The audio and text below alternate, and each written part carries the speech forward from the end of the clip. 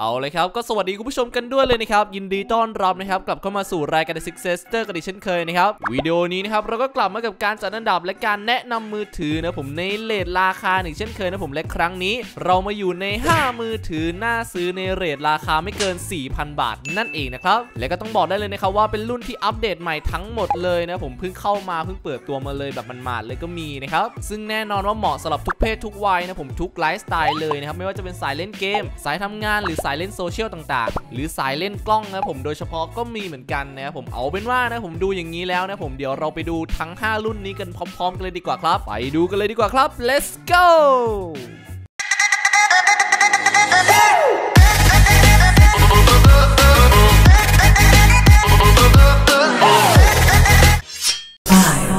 เรามาเริ่มต้นในที่รุ่นแรกนะผมกับรุ่นที่มีชื่อว่า vivo y914 ก็สำหรับรุ่นนี้แน่นอนว่าเปิดตัวไปตั้งแต่ต้นๆปีแล้วนะผมบอกได้เลยว่า ตอนนี้ก็ยังน่าสนใจอยู่นะผมสำหรับคนที่อยากจะได้มือถือที่ในเรื่องสเปคเนี่ยถือว่าอยู่ในเกณฑ์ที่โอเคมากๆเลยผมแล้วก็เรื่องราคาถือว่าน่าสนใจมากๆ เอาเป็นว่าไปดูสเปคของรุ่นนี้พร้อมๆกันเลยดีกว่าครับ รุ่นนี้จะมาพร้อมกับขนาดหน้าจออยู่ที่ 6.22 นิ้ว และใช้หน้าจอเป็น IPS LCD ความละเอียดหน้าจอจะอยู่ที่ HD+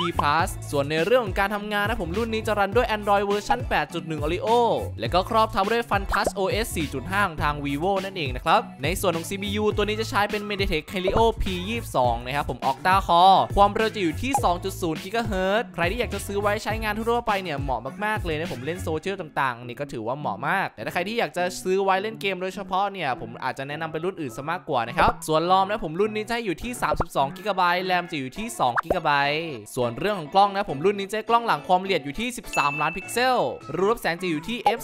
2.2 ส่วนกล้องหน้าจะให้ความละเอียดอยู่ที่ 5 ล้านพิกเซลนะครับ รูรับแสงจะอยู่ที่ f 1.8 พอร์ตการเชื่อมต่อก็เป็น USB 2.0 ปกตินะผม ส่วนเรื่องแบตเตอรี่เนี่ย รุ่นนี้ก็ถือว่าจัดหนักมาเหมือนกัน กับความจุแบตเตอรี่อยู่ที่ 4,030 มิลลิแอมป์นั่นเองนะครับ โดยรวมสเปคเนี่ยอย่างที่บอกครับว่าเหมาะสำหรับคนที่ชอบการใช้งานทั่วไปนะผมเล่นโซเชียลต่างๆ เล่นเกมบ้างเป็นบางครั้ง อันนี้ถือว่าเหมาะมากๆ และตัวนี้ถือว่าให้แบตมาอึดมากๆ แล้วก็หน้าจอใหญ่อยู่ในเกณฑ์ระดับหนึ่งเลยนะครับ ส่วนในเรื่องของราคานะผมรุ่นนี้ราคาเริ่มต้นอยู่ที่ 3,999 บาท นั่นเองนะครับ กับรุ่นที่มีชื่อว่า vivo y914 อันดับที่ 4 ได้แก่รุ่น Realme C1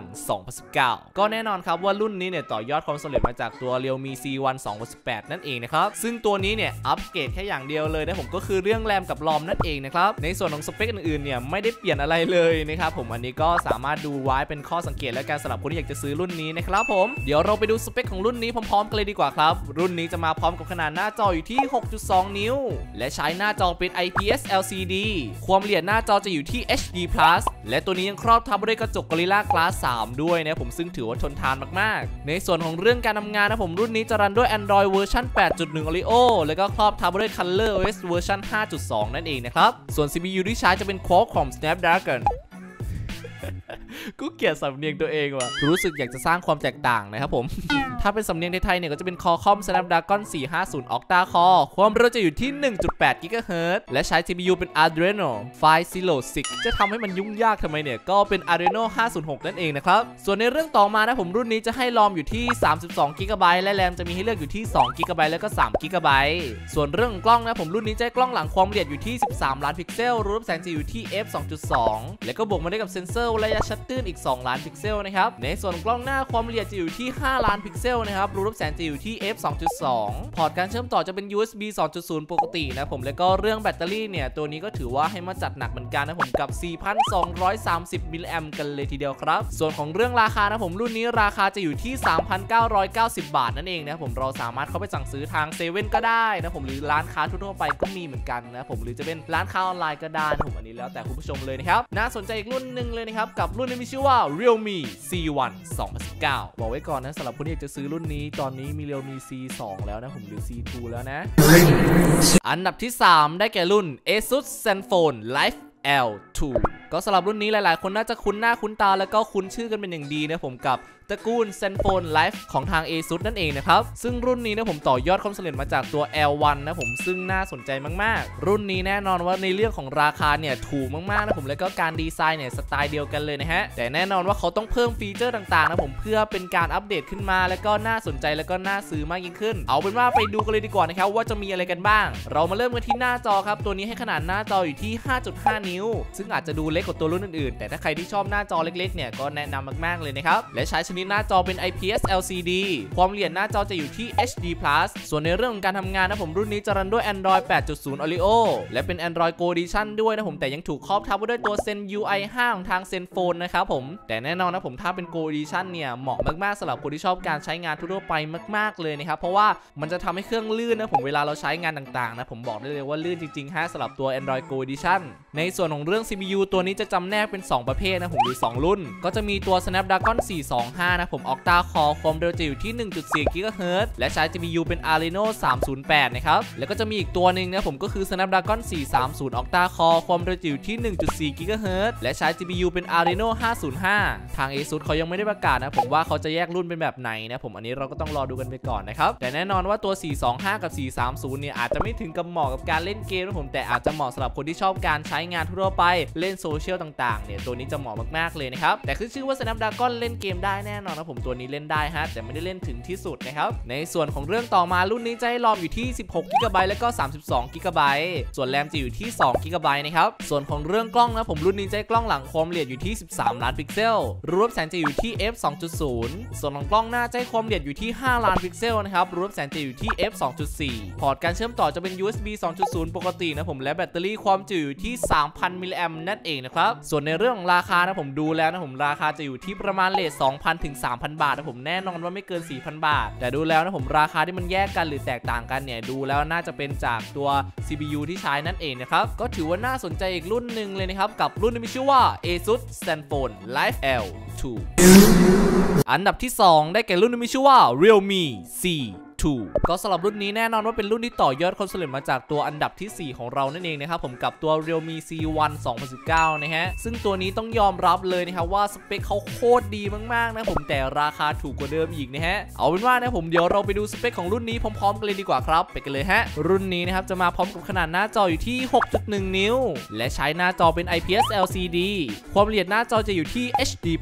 และก็ยังครอบทับด้วยกระจก Gorilla Glass 3 ด้วยนะครับในเรื่องของการทำงานนะผมรุ่นนี้จะมาพร้อมกับ Android เวอร์ชัน9.0 Pie และก็ครอบทับด้วย ColorOS เวอร์ชัน6 แต่เป็นแบบ Light นะครับ ในส่วนของ CPU ตัวนี้จะใช้เป็น MediaTek Helio P22 Octa Core ความเร็วจะอยู่ที่ 2.0 GHz และใช้ GPU เป็น PowerVR GE 8320 บอกได้เลยนะครับว่า CPU ตัวนี้เนี่ยถือว่าเหมาะมากๆสำหรับคนที่อยากจะไปเล่นเกมก็ได้ ทำงานก็ดีนะผมหรือเล่นโซเชียลต่างๆ ถือว่าโอเคเลยนะ อาจจะลื่นระดับหนึ่งเลยแหละครับผม ในส่วนของเรื่องต่อมานะผมรุ่นนี้จะให้รอมอยู่ที่ 16 g แล้วก็ 32 GB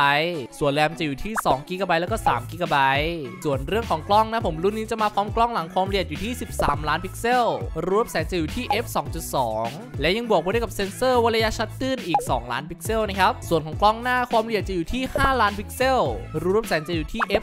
2.0 พอร์ตการเชื่อมต่อตัวนี้จะเป็น USB 2.0 ปกตินะผมและแบตเตอรี่ตัวนี้ให้ความจุมาถือว่าเยอะมากๆ แต่ก็น้อยกว่าตัวรุ่นเดิมนะครับผมก็คือ 4,000 มิลลิแอมป์กันเลยทีเดียวครับ แต่บอกได้เลยว่าเรทราคาไม่เกิน3,000 บาทให้ 4,000 มิลลิแอมป์มาเนี่ยก็ถือว่าน่าสนใจแล้วก็จัดหนักจัดเต็มมากๆเลยนะครับ ในส่วนของเรื่องราคานะผมรุ่นนี้เป็นราคาที่เปิดตัวในประเทศอินเดียนะผมซึ่งยังไม่ได้เข้าไทย ราคาจะมีปรับเปลี่ยนบ้างนะผมตามภาษีของบ้านเรานั่นเองนะครับผมราคาเริ่มต้นแรม2 g b รอม 16 g b ราคาจะอยู่ที่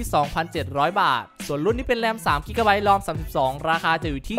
3,600 บาท นั่นเองนะครับ ก็ต้องบอกได้เลยนะครับว่ารุ่นนี้เนี่ยก็ถือว่าน่าสนใจอีกรุ่นหนึ่งเลยนะครับ กับรุ่นที่มีชื่อว่า Realme C2 เรามาอยู่กันที่อันดับที่ 1 แล้วนะครับ กับรุ่นที่มีชื่อว่า Redmi 7 ก็แน่นอนครับสำหรับรุ่นนี้เนี่ยก็เป็นตระกูลที่เป็นรุ่นน้องสุดของทางตัว Redmi นั่นเองนะครับ ซึ่งแน่นอนครับสำหรับเรื่องสเปคเนี่ยเราไม่หวั่นแน่นอนนะครับผมถ้าเป็นตัว Redmi เรื่องของสเปคเนี่ยจัดหนักจัดเต็มมากๆเลยนะครับผมแต่เรื่องราคาเนี่ยถือว่าถูกแสนถูกมากๆเลยนะครับดูอย่างนี้แล้วเดี๋ยวเรามาดูสเปคของรุ่นนี้พร้อมๆ กันเลยดีกว่าครับ รุ่นนี้จะมาพร้อมกับขนาดหน้าจออยู่ที่ 6.26 นิ้ว และใช้หน้าจอเป็น IPS LCD ความละเอียดหน้าจอจะอยู่ที่ HD+ และก็ยังครอบทับด้วยกระจก Gorilla Glass 5 ด้วยนะผมซึ่งซึ่งถือว่าทนทานมากๆ ในส่วนของเรื่องการทำงานนะผมรุ่นนี้จะรันด้วย Android เวอร์ชัน9.0 Pi แล้วก็ครอบทับด้วย MIUI 9นะผมหรือมี UI 9 นั่นเองนะครับ ส่วน CPU นะครับผมตัวนี้จะใช้เป็น Qualcomm Snapdragon 632 Octa Core ความเร็วจะอยู่ที่ 1.8 GHz และใช้ GPU เป็น Adreno 506 แน่นอนนะผม CPU ตัวนี้ถือว่าเล่นเกมได้ลื่นมากๆนะผมเลยก็ใส่มาในมือถือที่ราคาไม่ถึง 4,000 บาท เรื่องการเล่นเกมเนี่ยหายห่วงเลยนะผมหรือจะเป็นเรื่องการใช้งานต่างๆเนี่ยก็ถือว่าเล่นได้ลื่นมากๆเลยนะฮะ แต่ตัวนี้ก็มีข้อเสียและอาจจะเหมาะสำหรับคนที่ชอบการใช้งานแบบลื่นๆ อย่างเดียวเลยนะผม แต่ถ้าใครที่ติในเรื่องของความร้อนของตัวนี้นะผมบอกได้เลยว่าไม่เหมาะเลยนะสำหรับตัวนี้ก็ถือว่าร้อนพอสมควรในระดับหนึ่งนะผม แต่ก็ไม่ได้ร้อนมากจนเกินไปนะผมสามารถใช้งานได้ปกตินะฮะ ไม่ได้ร้อนจนแบบโอ้โหมันเล่นไม่ได้เลยก็ไม่ใช่นะผมตัวนี้ก็ถือว่าอยู่ในเกณฑ์ที่โอเคเลยนะครับส่วนเรื่องของรอมนะผมรุ่นนี้จะรอมอยู่ที่ 16 g b 32 g b แล้วก็ 64 g ส่วนแรมจะอยู่ที่ 2 g b 3 g b แล้วก็4 g b นั่นเองนะครับส่วนเรื่องของกล้องนะผมรุ่นนี้จะกล้องหลังความละเอียดอยู่ที่ 12 ล้านพิกเซลรูปแสงจะอยู่ที่ f 2.2 แล้วก็บวกมาด้วยกับเซนเซอร์วัดระยะชัดตื้นอีก 2 ล้านพิกเซลนะครับ ในส่วนของกล้องหน้าความละเอียดจะอยู่ที่ 8 ล้านพิกเซลรูรับแสงจะอยู่ที่ f 2.0 นะครับ พอร์ตการเชื่อมต่อจะเป็น USB 2.0 ปกตินะผม และแบตเตอรี่ความจุจะอยู่ที่ 4,000 มิลลิแอมป์นั่นเองนะครับ ถือว่าให้มาสุดจริงๆครับผมในเรื่องของสเปคต่างๆ เนี่ย ในเรื่องของราคาตัว Redmi 7 นะผมไปผูกมัดกับ AS นั่นเองนะครับ ซึ่งถ้าเราอยากจะซื้อเนี่ย เราก็ต้องซื้อผ่านศูนย์ AS ซึ่งแน่นอนครับว่ามันต้องได้ผูกมัด ถ้าคุณผู้ชมอยากจะได้ในราคาที่ถูก แต่ถ้าใครที่ไม่อยากจะได้แบบผูกมัดจาก AS เนี่ย ตัวนี้ราคาจะอยู่ที่ประมาณ 4,299 บาท นั่นเองนะครับ ก็ถือว่าราคาสูงแล้วก็ไม่ค่อยคุ้มสักเท่าไหร่นะครับ แต่ถ้าใครที่อยากจะได้แบบผูกมัดจากทาง AS นะ ผมเป็นแบบโปรของทาง AS เนี่ย ราคาเริ่มต้นจะอยู่ที่ 2,199 บาท เท่านั้นเอง ซึ่งก็ยอมรับจริงๆครับว่าถูกมาก แต่ก็มันก็ต้องผูกมัดนะครับผมแล้วก็เป็นโปรงทาง AS นะผมถ้าคุณผู้ชมอยากรู้รายละเอียดเนี่ยก็แนะนำให้เข้าไปที่ศูนย์ AS Shop ได้เลยนะครับก็ถือว่าน่าสนใจอีกรุ่นหนึ่งเลยนะครับกับรุ่นที่มีชื่อว่า Redmi 7 ก็เป็นยังไงกันบ้างผมสำหรับคลิปวิดีโอนี้ชอบใจกันหรือเปล่าครับ ถ้าชอบยังไงนะครับ ก็อย่าลืมที่จะกดไลค์และกด subscribe นะผมและที่สำคัญเลยนะครับ อย่าลืมกดรูปกระดิ่งติ้งๆ เพื่อได้รับการแจ้งเตือนเวลาผมอัพคลิปใหม่ๆกันด้วยเลยเลยกันนะครับและถ้าคุณผู้ชมเห็นว่าคลิปนี้เป็นประโยชน์แก่ใครนะผมหรือเป็นประโยชน์ต่อคุณพ่อคุณแม่นะผมหากจะแบบอยากจะอ้อนให้ท่านซื้อให้หน่อยอะไรแบบนี้ก็แนะนำส่งคลิปวิดีโอนี้ให้กับท่านได้ดูได้เลยนะครับและก็ต้องขอบคุณมากๆผมที่มาดูคลิปวิดีโอนี้จนจบคลิปวีนะครับผมพูดผิดบ่อยมากเลยนะฮะก็ต้องขออภัยกันด้วยเลยในการนะผมจะนำไปปรับปรุงเรื่อยๆนะครับผมใครที่อยากจะให้ผมทำคลิปเกี่ยวกับอะไรก็สามารถคอมเมนต์บอกกันได้ที่ตรงด้านล่างนี้ได้เลยนะครับหากใครที่อยากจะติดตามข่าวสารต่างๆ หรือมีข้อสงสัยอะไรอยากจะถามผมก็แนะนำให้เข้าไปถามได้ที่ Facebook Fanpage ได้เลยนะครับผมหรือจะเป็น Line นะผมเป็น Line Group อันนี้ก็แนะนำให้กดเข้าไปถามได้เลยนะครับก็สำหรับคลิปวิดีโอนี้ขอตัวลาไปก่อนแล้วกันนะผมแล้วเรามาเจอกันในคลิปวิดีโอหน้าสวัสดีครับบ๊ายบาย